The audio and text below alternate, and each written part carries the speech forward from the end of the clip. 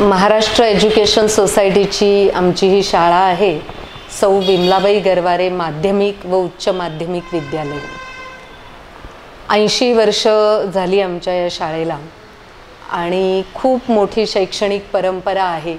मुळातच महाराष्ट्र एज्युकेशन सोसायटीची स्थापना आद्य क्रांतीवीर वासुदेव बळवंत फडकेंनी केलेली आहे.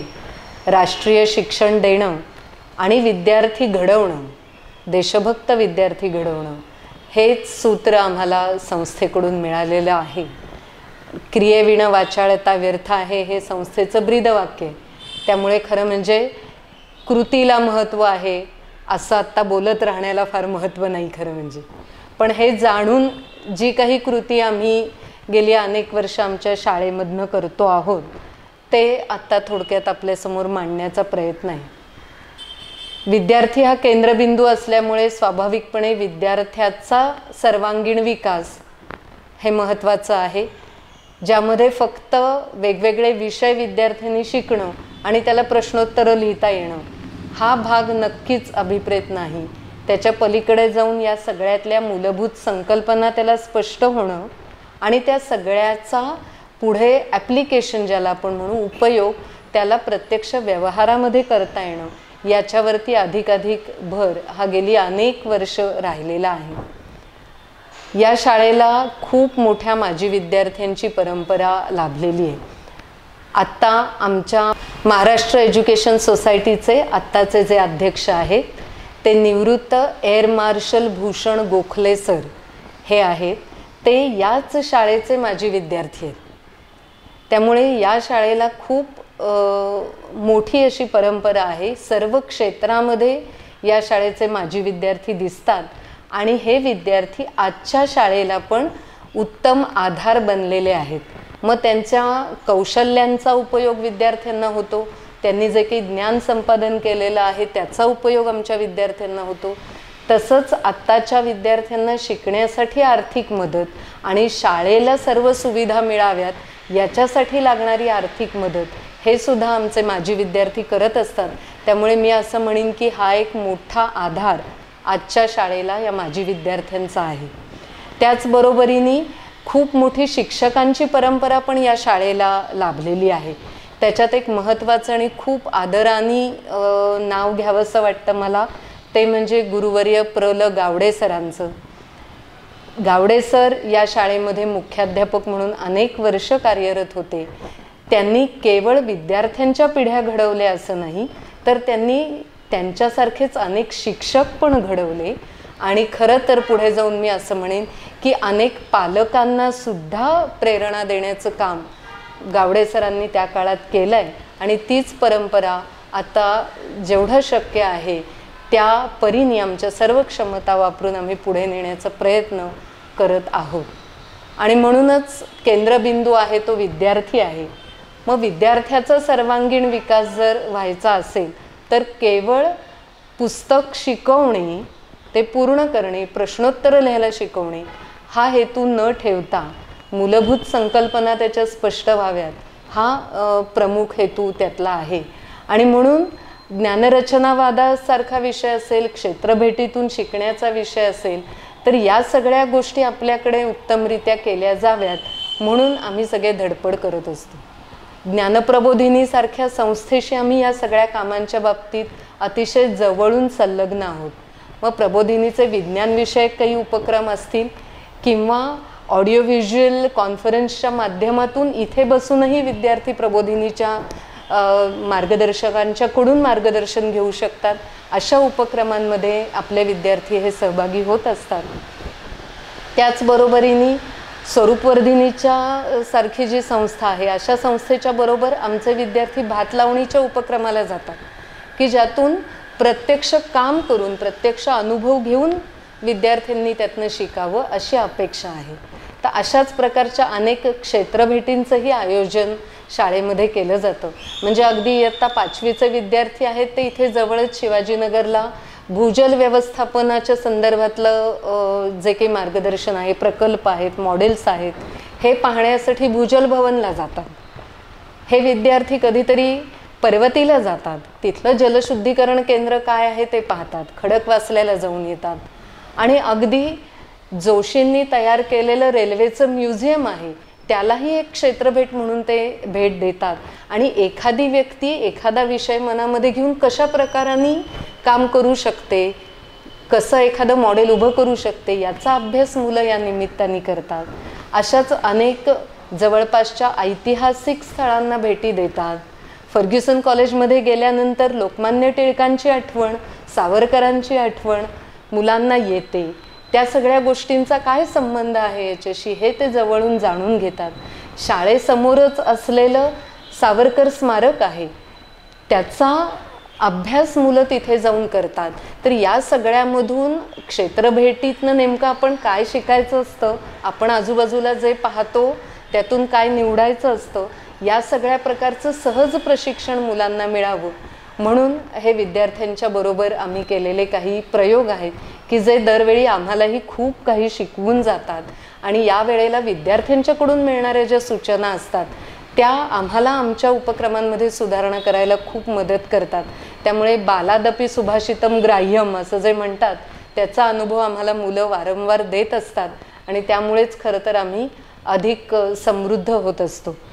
आता आपल्याला लक्षात आणखीन एक गोष्ट अशी येते की स्किल डेव्हलपमेंटची चर्चा खूप जोरात आहे. आणि बरेच आमचे विद्यार्थी असे आहेत की ज्यांना वर्गात बसून चला शिकूया म्हटलं की फार रमत नाहीत. पण त्यांना एखादं कौशल्य शिकवलं तर ते त्यांना शिकायला आवडतं आणि त्याप्रमाणे कृती करायला आवडते. आणि म्हणून असेही काही कार्यक्रम आपण घेत असतो. आपल्या शाळेमधला एक वर्ग आहे जो विद्यार्थ्यांनी स्वतः ठरवून आपले एक रंगारी दादा आहेत त्यांच्याशी आम्ही बोललो आणि म्हटलं की तुम्ही आणि तुमची टीम म्हणजे आमचे हे विद्यार्थी यांना सगळ्यांना रंगकाम कसं करायचं असतं हे शिकायचं. आणि मग त्यांच्या मार्गदर्शनाखाली या सगळ्या टीमनी तो संपूर्ण वर्ग रंगवला आणि त्याच सुमारला आमच्या सैनिकी शाळेतल्या मुली आमच्या शाळेमध्ये येणार होत्या अश्वारोहण मोहीम फत्ते करून. तर त्यांच्या स्वागतासाठी म्हणून अश्वारोहण मोहिमेची चित्र मुलांनी त्या वर्गामध्ये स्वतः रंगवली. म्हणजे साधासुधा वर्ग त्याचं अगदी बेसिक रंगकाम म्हणजे रंग घासून काढण्यापासून ते त्या वर्गामध्ये रंग देऊन चित्र रंगवण्यापर्यंतचं सगळं काम हे मुलांनी केलं. यातून जो कौशल्य विकास आहे तो मला असं वाटतं की खूप महत्त्वाचा आहे. मुलांना आनंद देणारा आहे आणि व्यवहारातलं शिक्षण शिकवणारा असा आहे. म्हणून अशाही प्रकारचे वेगवेगळे उपक्रम आपण मुलांच्या मदतीने करतो. आणि मला सांगायला आनंद होतो की यातले बरेचसे उपक्रम हे मुलांनी सुचवलेले असतात की बाई आपण असं करून बघूया का? हे जमेल ना बाई आम्हाला करायला? आमच्या वर्गातलं कपाट मोडलं आहे तर आम्ही ते शाळेत इकडे तिकडे फळ्या पडल्या आहेत ना नको असलेल्या गोष्टींच्या त्या सगळ्या फळ्या गोळा करून आम्ही त्याचं कपाट करू का? अशी परवानगी मागायला मुलं येतात. तेव्हा खरंच विशेष आनंद होतो. आणि नंतर ते कपाट खरंच तयार झालेलं बघितलं की असं वाटतं की अरे यांना मी काय शिकवणार? यांच्याकडून मी शिकलं पाहिजे. तर अशा प्रकारचे जे काही अनुभव आहेत ही आज काळाची अधिक जास्त गरज आहे असं मला वाटतं. तर असंही उपक्रम आपण मुलांच्यासाठी राबवत असतो. मुलांच्या या सगळ्या विकासामध्ये पालकांचा खूप महत्त्वाचा भाग असतो. आणि म्हणून शाळेचं ग्रंथालय जे आहे ते आपण पालकांच्यासाठी सुद्धा खुलं केलेलं आहे. म्हणजे विद्यार्थी जसं स्वतःच्या नावावर पुस्तक घेऊन जाऊ शकतात तसं आमच्या शाळेमध्ये पालकसुद्धा स्वतःच्या नावावर पुस्तक घेऊन जाऊ शकतात. ते वाचन करतात. या सगळ्यामुळे पालकांचं पाहून मुलांमध्ये सुद्धा ही वाचनाची आवड निर्माण व्हावी अशी एक अपेक्षा आहे. आणि काही वेळेला तर असं झालेलं आहे की या उपक्रमामुळे पालक वाचायला लागले. मुलांनी हट्ट केला म्हणून की आपल्याकडे अशी सुविधा आहे आणि तू का नाही माझ्याकडे येऊन नाव नोंदवत आणि तू का नाही पुस्तक घेत? अशा आग्रहामुळे मुलाची आई वाचायला लागली. अशी पण उदाहरणं आहेत. तर असा दोन्ही बाजूनी प्रयत्न हा चालू आहे की ज्यामुळे पालक विद्यार्थी शिक्षक आणि शिक्षकेतर कर्मचारी हे सगळे घटक एकत्र येऊन मुलांच्या विकासासाठी अधिकाधिक चांगल्या पद्धतीने हे काम करू शकतील. यात सगळ्यात मला महत्त्वाची गोष्ट वाटते ती म्हणजे मुलांचा सहभाग जितका असेल तेवढा उपक्रम अधिक यशस्वी होऊ शकतो. आणि म्हणून आपण विद्यार्थ्यांना असं म्हणतो की स्नेहसंमेलन करायचं आहे तुम्हाला करायचं आहे ना तुम्हाला कोणत्या विषयावर करायचं आहे त्यामुळे या प्रक्रियेत मुलं सहभागी होतात. आणि ते स्वतः ठरवतात की आम्हाला यावर्षी ही थीम निवडायची आहे आणि याच्यावरती आम्हाला स्नेहसंमेलन करायचं मग अशा प्रकारचा झालेला कार्यक्रम हा नक्की यशस्वी होतो. जेव्हा विद्यार्थी स्वच्छता दूत बनतात ते सगळे एकत्र बसून त्यांची एक सभा घेतात आणि ठरवतात की आपल्या शाळेत स्वच्छता पाहिजे असेल तर काय नियम असायला पाहिजे? काय काय चुकीचं आपण सगळेजण मिळून करतो मग हे होऊ नये म्हणून काय करूया? असं जेव्हा मुलांनीच ठरवलं मुलांनीच स्वच्छतेचे नियम तयार केले तेव्हा ते पाळले जाण्याची शक्यताही वाढली. त्यामुळे विद्यार्थी सहभाग हा मला असं वाटतं की आमच्या शाळेत पायाभूत गोष्ट आहे आणि त्याच्या आधारे आम्ही काम करण्याचा हा प्रयत्न करतो आहोत. आमच्या शाळेचा एका महत्त्वाच्या उपक्रमाचा मला उल्लेख नक्की करावासा वाटतो. ते म्हणजे शाळेचं आमच्या ढोलताशा पथक. गणेशोत्सवामध्ये गेली एक्केचाळीस वर्ष हे पथक अत्यंत अभिमानाने सादरीकरण करत आहे आणि विमलाबाई गरवारे शाळेच्या पथकाला या काळात किती मागणी असते हे मी वेगळं सांगायला नको. ज्ञानप्रबोधिनीचे माननीय आप्पा पेंडसे यांनी या सगळ्याची जी सुरुवात केली त्या परंपरेतून पुढे जाण्याचा वसा हा विमलाबाई गरवारे प्रशालेनी घेतला. आणि त्यामुळे तोच आदर्श डोळ्यासमोर ठेवलेला आहे. त्यातली शिस्त आणि त्याबरोबर येणारं सामाजिक भान या सगळ्याचा समावेश आजही विमलाबाई गरवारेच्या पथकामध्ये आहे. आणि त्यामुळे आमच्या पथकात आम्ही फक्त वादन शिकत नाही तर दररोज सरावाला येतो. तेव्हा सराव संपल्यानंतर एका पुस्तकाचं वाचन हा आमचा त्या वर्षीचा एक महत्त्वाचा उपक्रम असतो. आणि त्याचबरोबर सर्वजण मिळून आम्ही दरवर्षी एका सामाजिक उपक्रमाला भेट देतो. हा एक वेगळा आयाम आमच्या गणेशोत्सव पथकाचा आहे. तोही मला आवर्जून इथे सांगावासा वाटतो. विद्यार्थ्यांच्यामध्ये जी काही काय म्हणूया जिगर असते उत्साह असतो रग असते हे जिरवण्याचा योग्य मार्ग हा अशा प्रकारचं पथक हा आहे असं मला वाटतं. आणि त्याला अशी वाट आपण करून दिली नाही तर चुकीच्या मार्गाने ही एनर्जी ही ऊर्जा वापरली जाते. आणि म्हणून गणेशोत्सव पथकही खूप महत्त्वाचं आहे असं मला वाटतं. हे सगळं करताना शाळेच्या शैक्षणिक गुणवत्तेकडे आम्ही बिलकुल दुर्लक्ष करत नाही.